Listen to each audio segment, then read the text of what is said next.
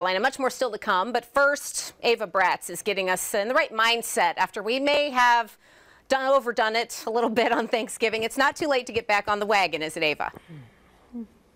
No, no, it is not. Even though some serious sins were committed over the weekend, myself included. We're here with Marley at Metabolic. So, Marley, as a gym gal, right? Mm -hmm. Are there any things that you don't eat, or do you eat it all in moderation? What's the secret? Um, so there are actually things I don't eat.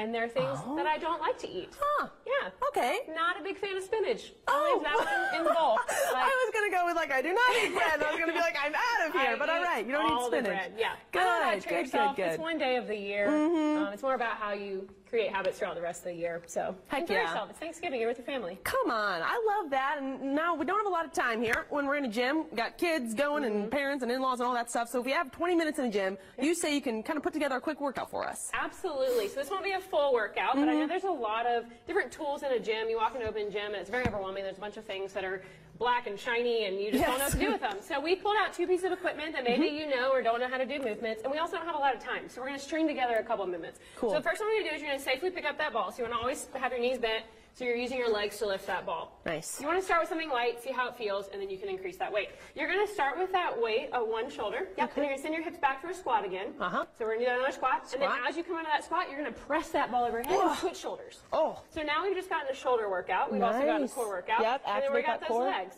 and then you press Boom. it overhead. Ah. So this is really fun. And I know earlier we were talking about keeping it spicy, so if you really want to keep it, you just keep rolling with that train. I do. Is when you get to the top of that, you throw the ball up and then get out of the way. Whoa! Yeah.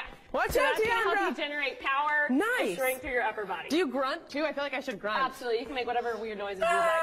Okay. You're way cooler. People will just stare at you. Okay. I love that. Did yeah. you grunt? I didn't oh. hear you. Oh, Maybe I was too loud.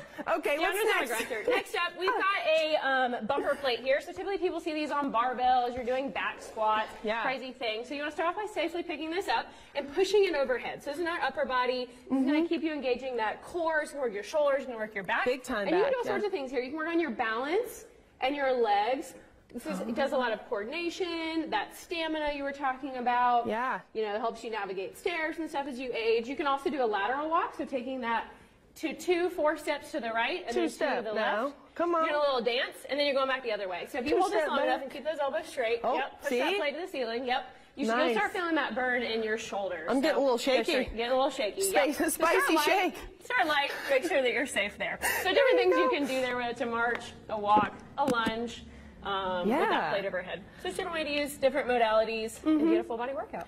Well, and that's all that it really goes toward is mobility, even like things with like your wrists. I know like Absolutely. my grip strength as I get older, I can sense it's kind of going. So even those things holding it tight yep. up there. Definitely work your grip strength. Good for that. Yeah. All right, guys, when we come back, we're going to be showing you some more things to not feel as bad during the holidays. It sounds like she doesn't right. like spinach. So you're in the same place here. We eat bread. It's and a happy potatoes. place. It's All potatoes.